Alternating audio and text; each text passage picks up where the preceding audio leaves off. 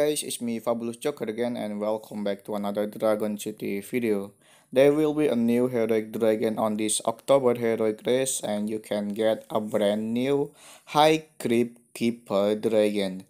Prepare your gems for this next heroic race event. But there will be a new amazing heroic dragon will come to Dragon City soon. The name of this heroic dragon is High Voodoo Vampire Dragon. What?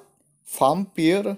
Yes, this dragon is the first vampire heroic dragon.